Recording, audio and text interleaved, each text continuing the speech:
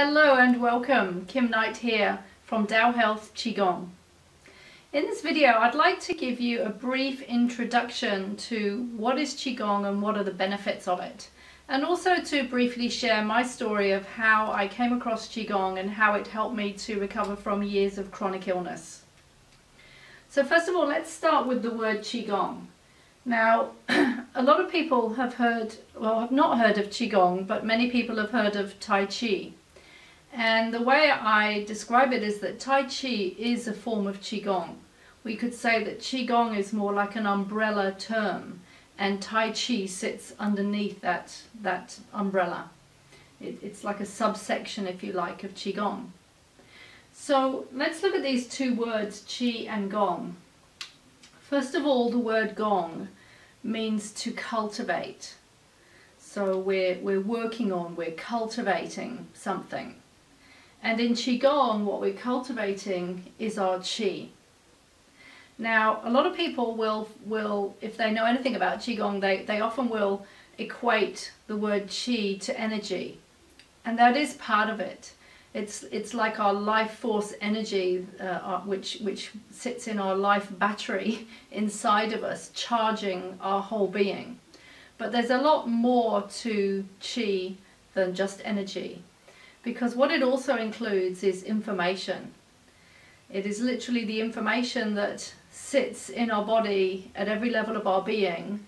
So that means physically, emotionally, mentally and spiritually uh, energy that makes up our being.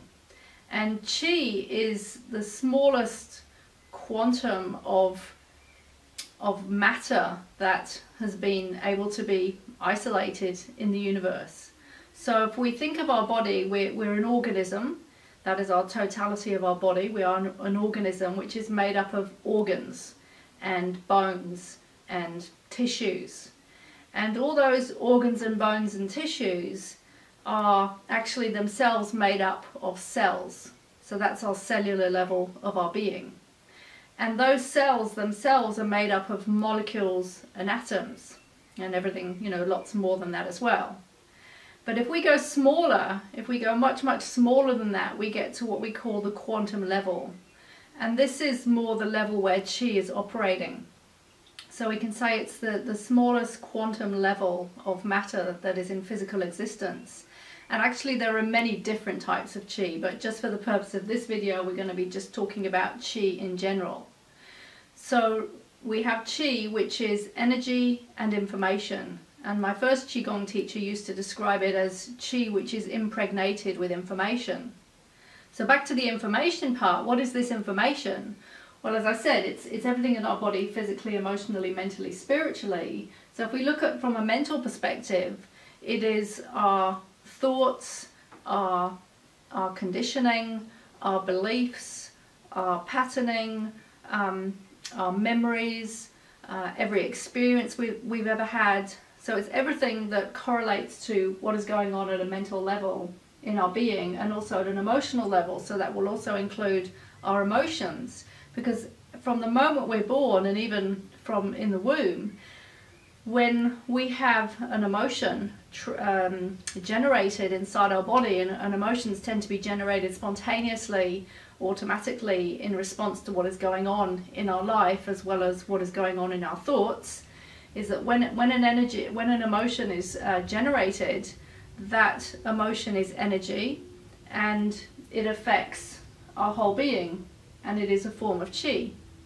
And we also have our spiritual side of us, um, which in Qigong is often referred to as our Shen. And then we have, of course, we have our physical body. So the wonderful thing about Qigong, so I don't want to get this too complicated, the wonderful thing about Qigong is that it works on all these levels simultaneously. And just by doing the exercises, our body is so brilliantly intelligent, we don't have to sit there and go, okay, well, I need 30% of it to go to the physical part and 30% to go to the emotional part. And, well, I've got a lot of work to do on, you know, mental, so I'll send 50% there or whatever. And that's more than 100% already, isn't it? So we don't have to think that. All we have to do is to do the practices um, and, and then our, our infinitely intelligent body will direct the chi that we're generating and also clearing to the right places in our body. So that's the wonderful thing about Qigong. So let me share a little bit, before I go on to explaining some of the benefits, let me share a little bit about how I came across Qigong. Basically, I had been ill for many years. I'd had clinical depression for about 10 years and then that developed into chronic fatigue syndrome a few years after I was first um, diagnosed with clinical depression and I was unable to work and I left my job um, and was for the next five years I just was literally sitting at home just wondering how to get well and trying many many different therapies altogether. I've tried now that back then it was about a, over 100 now I've tried over 200 or up to 200 therapies. So I've really tried a lot of therapies. But at that stage before I came across Qigong I had been unwell at home not working for about five years trying many many different therapies and, and really starting to learn about myself but not really understanding what is really creating this problem and at some point when I'd had another crash and was just feeling like, God, is this ever going to end? I just had this thought that crossed my mind of, well, what if I'm not going to get better? And this is very common, by the way, for people who have a chronic illness. We, we, we try this and we try that, and it goes on and on and on, and eventually the mind starts to think, well, you know, I'm not getting better, so am I ever going to get better? And that's what, what, what happened for me. And then I thought, well, what would you do if you weren't going to live very long? And I know that's a bit of a, you know, a serious, sobering thought, but when you're in that sort of situation, you tend to think that. And anybody probably who's who has either had a chronic illness or is chronically ill, that thought may have crossed their mind because after all, we are human and we have a finite life. Um, it's just that most of the time we don't think, you know, that that ending will come soon. So I thought, well, what would I want to do? And I thought, well, I'd actually like to do this trip around the world that I've been dreaming of. And I never thought that I would do it. It was just like this pipe dream uh, in my head. But I've been collecting brochures. I had a file, filing system full of brochures of places I wanted to visit. And I just thought, well, what's stopping you? And there, apart from being ill, there was nothing stopping me. Um, fortunately, at the time, um, I was, I had the finances to, to fund that and well I sold my house and um, and I went off traveling around the world. And even though I wasn't ill and I kept on having to crash um, every so often um, I was able to go off traveling. And um, quite I, I, still was searching. I, I, went around the States and I went to to Central America and to Europe and I was trying this therapy and that therapy. And towards the end of my trip, I was about 11 months into my 12 month round the world ticket. I had crashed again. I was in Central America. I was in Costa Rica, I think, and then I went to Guatemala and I was literally hardly able to move. And I just had to stop and rent a place for a month. And um, and while I was there, you know, as fortune happens, I heard of a treatment, a Qigong treatment, and in, in uh, the States, and which was actually a body therapy called Chi Nei Tsang. Um, but really, as I found out later, I was drawn to much more than just Chi Nei Tsang. But I, I was just drawn, for some inexplicable reason, I was drawn to go and find out more about this. So I, I, my, I booked to go to LA on my way back to New Zealand. I literally only had a month left on my ticket and I got on the plane and got to actually San Francisco and was very very ill just could hardly get out of bed and managed to crawl to an appointment to see this Qigong practitioner who became my first teacher, Gilles Marin. And I had a treatment with him which was life-changing. And during that treatment I discovered that one of the major reasons that I become ill was because I wasn't dealing with my emotions and because emotions are energy. They, that energy, because I wasn't dealing with it and, it, and energy cannot be destroyed, it can be transformed, which is what we learn to do in Qigong, but it can't be destroyed. And so I was blocking, unbeknownst to me, I was blocking a heap of energy, using a heap more energy to hold that energy blocked And the end result of that was I was absolutely exhausted for no apparent reason, but that was the reason. And there were other reasons as well. I'd been overdoing it, pushing myself too hard, driving myself uh, very, very, very stressed. And according to Harvard University, at least 80% of illness is, is attributable to stress, and I would personally say more than that. Um, so I was doing life wrong. And one of the things we learn in Qigong is to follow what we call the laws of life and the laws of health. And we have to learn what these laws are. And Qigong teaches us what these laws are. And it's all about learning to live in harmony with nature because we are part of nature, but we've forgotten that. So, for example, nature has seasons you know and seasons. We have summer where we're we, you know where nature is busy and all the flowers are blooming. But then in winter all the leaves drop off and all the sap goes into the center of the tree and the tree stops to regenerate for the next season.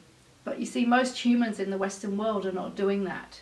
They're just they're in summer season all year round. And and it's just impossible to to live healthily like that because we're not designed to live like that. We have to have balance. So anyway, so I, I went for this uh, treatment. It was completely life-changing experience, a major what I would call turning point for me. And and and then as I was leaving to go out the door, I noticed a brochure um, for his classes, and and I inquired what, what it was about and he said well I teach this obviously and I teach certain meditations which help you to clear emotional energy from the physical body to clear that emotional energy out of the cells. And I was immediately it was like I just knew that was what I had to do. So that was the start of my journey with Qigong.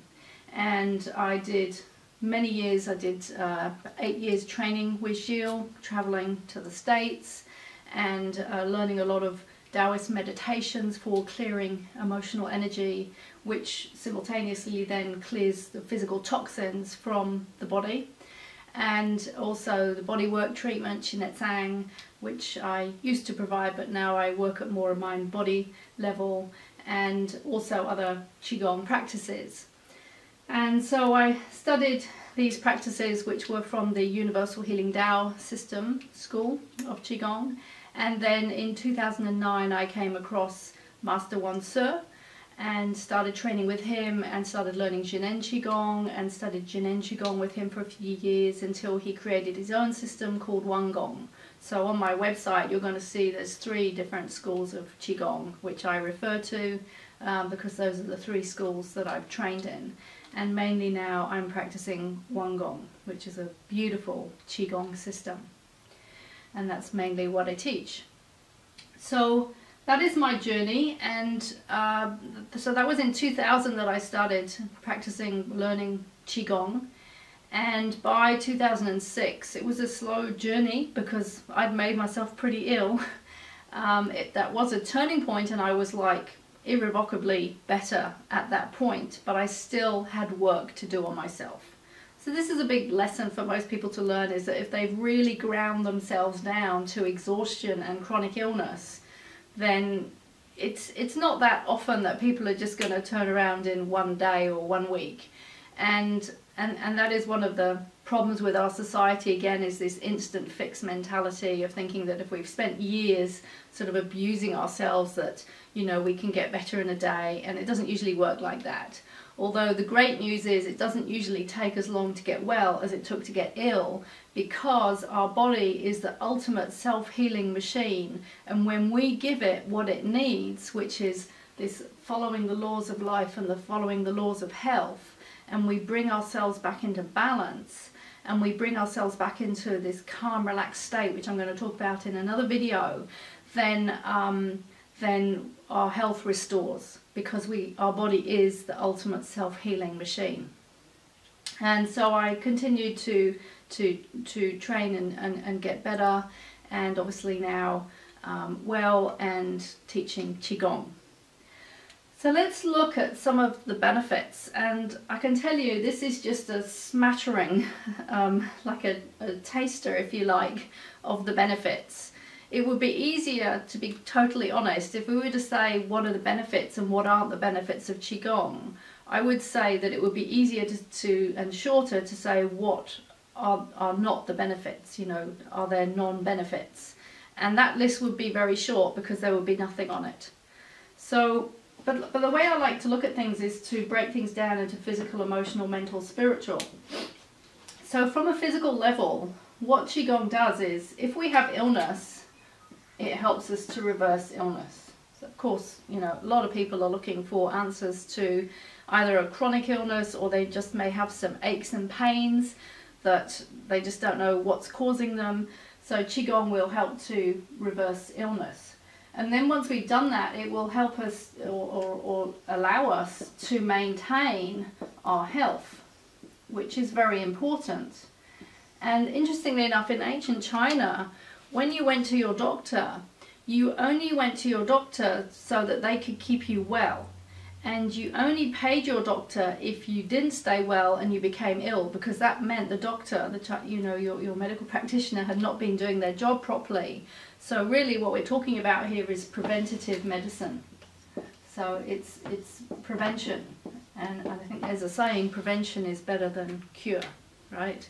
This is not the ambulance at the bottom of the cliff although it can be used for that but it's about yeah, let's let's maintain our health, and then once we've either reversed illness or we're maintaining our health, then let's optimize our health.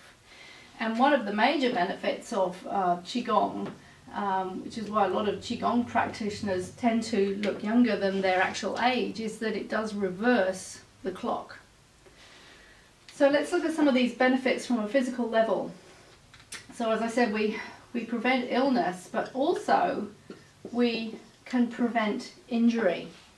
Because when our chi is flowing smoothly in our body, and also we are very mindful because qigong works also at this mental level to become uh, more mindful of what is going on then we're going to actually we're going to prevent injury because a lot of injury is due to us not being in the moment at the time the injury happens our mind is often somewhere else or say, for example, we're lifting a heavy box and our mind is not on the lifting of the box. Our mind is, what am I going to have for dinner tomorrow? Or maybe we just had an argument with somebody and we're going over that in our mind and we're not paying enough attention to our body and how we need to lift that box properly. And then we can easily hurt ourselves. And it's a very interesting thing, by the way, if you do injure yourself, so you cut yourself or you you I don't know you just do something inadvertently to to injure yourself um, it's very interesting to if it, one can track immediately because one has to ask it straight away what what was I thinking right then? Because there's often a connection. Anyway so we prevent illness and we can prevent inju injury. And it has a it, it works a lot on loosening and maintaining um, that's not even a word really is it but suppleness of the joints and the spine. So they say, the Taoists say that, the, that we have 24 treasures, which are our, our vertebrae and our spine, and that our, our youthness will equate to the limberness of our spine. So the more supple our spine is, the younger we're going to stay. So freeing up and maintaining joint mobility and suppleness is very, very important. And also it helps to keep our tendons and our ligaments um, and also our muscles very soft and supple. And of course it works on the organs. And so we have these major organs inside of us, you know, the heart, the lungs, the liver, the gallbladder, the small intestine, the large intestine, etc., etc. And these organs are what are responsible for keeping us alive. And we know that because we can live without a limb, but we can't live without an organ apart from the spleen. So our organs are very, very important. And in Qigong, we have what are called meridians. Uh, well, not in Qigong, I mean every human body has meridians. And meridians are these like these rivers of energy inside of us uh, that carry our Qi through them. So we have these many Qi rivers and we need to keep these rivers free flowing because it's like if you have a block in the flow of a stream and it gets blocked then a the water downstream there's no there's no water anymore because it's all dammed up upstream. And also that water upstream gets very stagnant. So when you go for example and have acupuncture what is happening is that they're freeing up these rivers of energy or chi inside your body um, so that chi can get to the right place at the right time and move between the organs and, and all the tissues and cells, etc. And so the difference, I suppose you could say, between acupuncture and Qigong is that in acupuncture somebody is doing it for you, but in Qigong you're learning to do it for yourself. So yes, supple. Very important to have suppleness, suppleness like a baby. And also big time what we're doing is we're going to be clearing toxins. So the body tends to store a lot of toxins and through clearing our chi channels and our energy channels um, that helps to, to move the toxins out of the body. So that's just a, a smattering of what is going on at a physical level. So let's look at how it can benefit emotionally. So this is where I started myself. Um, yes, I had physical chronic fatigue, but the fatigue was because I wasn't managing my energy, and in particular my emotional energy, because emotions are energy.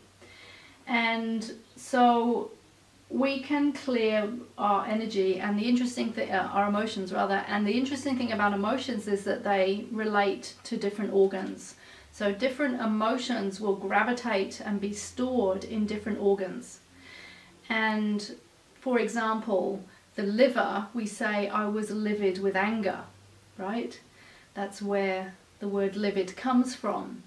And so anger really uh, affects the the liver and that emotional toxin gets stored in the liver and the interesting thing about the liver is the liver from a biological physical perspective is uh, is all about clearing the well one of the one of its major functions is to clear the toxins from the body and to, to store and clear the most toxic toxins. So for example when people are uh, alcoholics and drinking a lot of alcohol then that toxin will affect the liver and be stored in the liver. And not just the liver I mean the rest of the body too but you know majorly the liver has pointing here because that's where the liver is um, and but every tissue and cell in the body has also has a metaphysical function, right? So our anger is stored in our liver and in my trainings, some of my trainings I teach all, you know, and in Qigong we learn, okay, which which organs uh, are affected by different emotions and, so, and, and which and how can we clear those emotions from the organs. And so ultimately when we do this, what we're going to find is we're going to, ex to experience a lot more happiness because we cannot be happy if we have a load of anger and fear and sadness and worry and um, you know disappointment and hurt all these sort of core emotions. We, we cannot be happy if all those emotions are sitting in our body. And the way we describe it in qigong is that it's when when we do these clearing exercises the the sun is always there but the clouds is in the way of the sun shining. And so when we do the Qigong, what we're doing is we're clearing away the clouds of the anger and the fear and the and, and, and the sadness and the hurt and, and and all these this negativity, whether it's you know emotional or physical stuff. And then the sun can shine through and we can actually finally experience what, what is called the virtuous energy that is already inside of us.